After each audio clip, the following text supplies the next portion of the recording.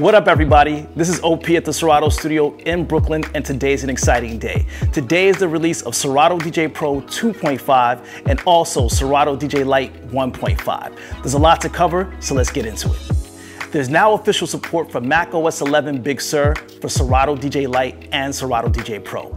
As well, there's support for the new Apple laptops with the M1 chip. But please note that some DJ hardware does not work yet with Big Sur or the M1 chip, so please check the link in the description for the status of your hardware. As well, Serato will have a beta build soon for the M1 machines that supports live streaming, so hold tight. This one is super exciting. There's now direct phase support for Serato DJ Pro. Phase is now supported as a Serato official accessory. This means no more RCA cables.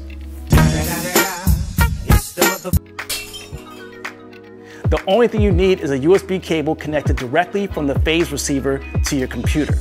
This improves the accuracy along with reducing latency and drift. In Serato DJ Pro, there's a new mode called WIR, which stands for wireless. When selected, you can use phase wirelessly to control your decks.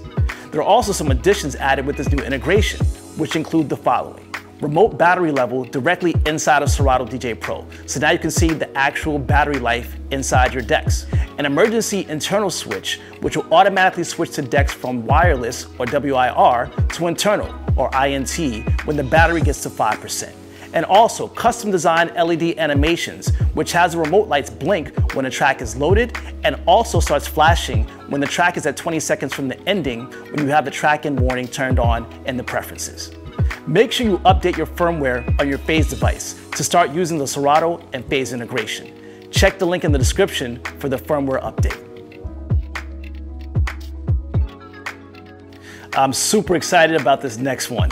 There's now offline lockering support for BeatSource Link and also Beatport Link inside of Serato DJ Lite and Serato DJ Pro. With this new feature, you can store up to 100 tracks on your computer to access and play them without being connected to the internet. A Link Pro or Pro Plus plan is required. All of your metadata saves to these tracks, so if you make cue points and loops, they'll appear every time you play those tracks down, down, down, down, down, down, down, down, down. you gotta hold it down, down, For example, with BeatSource Link, I can search for a song using the search feature and then drag that song to the BeatSource locker. A download arrow will be next to the song in the locker, so now I can play that song stored on my computer and not be connected to the internet. Please note, these songs are locked, so they can only be played in Serato DJ Pro or Serato DJ Lite. The BeatSource Link and Beatport Link lockers are independent as you need to have separate subscriptions for each and you cannot mix or match songs from both lockers. As well, you cannot record DJ sets with the tracks from the locker.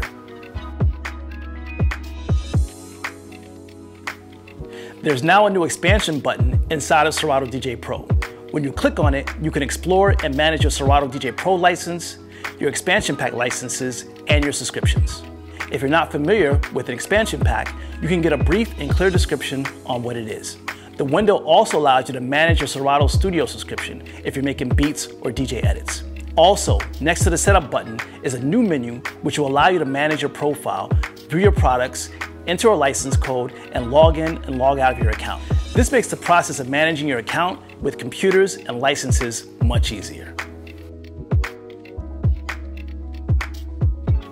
If you're a Serato DJ Lite user, you can easily connect your master audio output to your broadcasting software like OBS for live streaming. Inside of Serato DJ Lite, under the Make Audio Available to Other Applications, make sure to install the iShowU audio capture software first. Once installed, you can turn on Make Audio Available to Other Applications, and in OBS under your audio input capture device in your sources, you can choose the iShowU audio capture. This will now send the master output from Serato DJ Lite directly to OBS. From OBS, you can stream to platforms like Twitch, YouTube, Zoom, and others. And last but not least, Reloop has a cool new controller out right now called the Reloop Ready. It's pretty dope. It's built with portability and ease of performance in mind. It sits flush in a 13-inch laptop keyboard so you can practice or perform anywhere.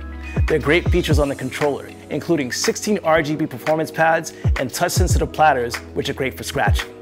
The Reloop Ready works with Serato DJ Lite, but if you have a license for Serato DJ Pro, it'll work with that too. When using Pro, you can access the new pad mode feature, Scratch Banks, for instant loading of tracks for scratching and performance routines. Yo, we just covered a lot right there. Make sure you head over to Serato.com right now and download and install Serato DJ Lite 1.5 and Serato DJ Pro 2.5. Peace.